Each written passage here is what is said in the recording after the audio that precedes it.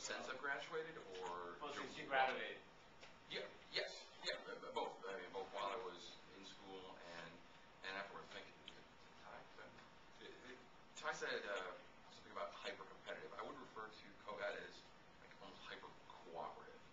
Um, The, the students that I got to know best, I'm